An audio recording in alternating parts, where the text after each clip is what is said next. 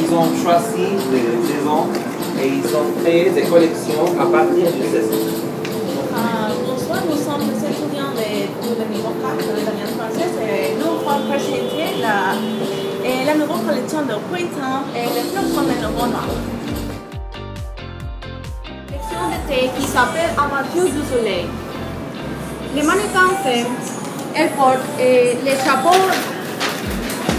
le chapeau du soleil.